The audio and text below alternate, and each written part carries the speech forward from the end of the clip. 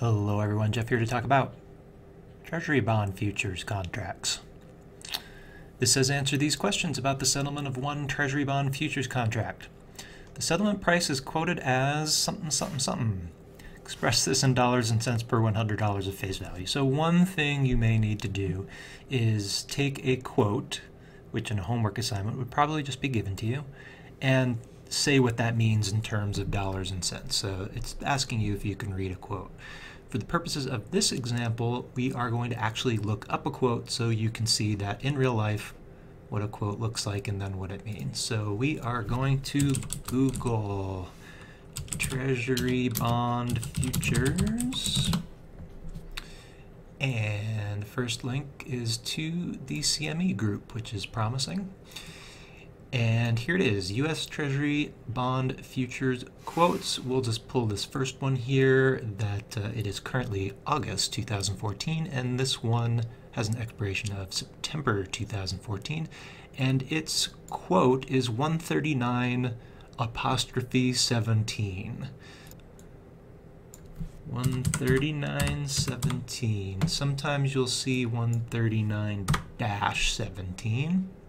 And the key to this quote is that Treasury bond futures are quoted in dollars and 30 seconds of a dollars. So 139-17 means 139 and 17 30 seconds per $100 of face value. If you ever forget that and you can't find it in the text, remember you can always go to the source, contract specifications, price quote, uh, points and 1 32nd of a point. And there's even an example here. 134.16 represents 134 and 16 over 32. So here we have 139 and 17 over 32. 17 over 32 is 0.53125. So this is 139.53125 for every $100 of face value. In the next part of the question, it says the short position wishes to deliver a bond with conversion factor 1.0909. Okay, I did just completely make up that number. We aren't going to look up conversion factors for particular bonds, but I want to talk about what is going on here. A Treasury bond futures contract, when you are short, is the promise to deliver a Treasury bond with a maturity greater than 15 years and a yield of 6%.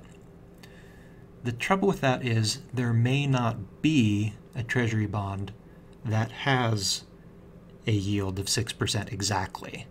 So we allow the short position to deliver any bond with a maturity greater than 15 years, and then we adjust it so that it ends up yielding 6% uh, when it's delivered to the long position. So the short can deliver a 7% uh, bond and we just fiddle with the price that the long position has to pay so that it's as if a 6% bond were delivered.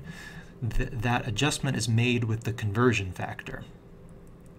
There's another small adjustment we have to make which has to do with accrued interest, um, having to do with the fact that when you buy a bond, you do have to pay the seller of the bond the amount of interest that is accrued up to the point you are buying it. So we need to find the amount of cash that's going to be received by the short position when they deliver $100,000 of these bonds. So there is an equation that we use, which is that we take the settlement price and we multiply by the conversion factor and then we add in the accrued interest and then we adjust it for the total amount that's being delivered. In our case, we'll bring up the calculator here, we take the settlement price 139.53125, we multiply by the conversion factor 1.0909, we then add the interest that is accrued, and we get 154 and some change here. So this would be for $100 in face value of the bond. The payment is actually going to be 154 and some change. Uh, the question here is saying that the short position is delivering $100,000 worth of bonds, not 100 dollars worth of bonds, but a thousand times more than that. So we do need to multiply our final answer by a thousand here. For delivering $100,000 worth of these bonds, the short position is going to receive $154,214 and some change.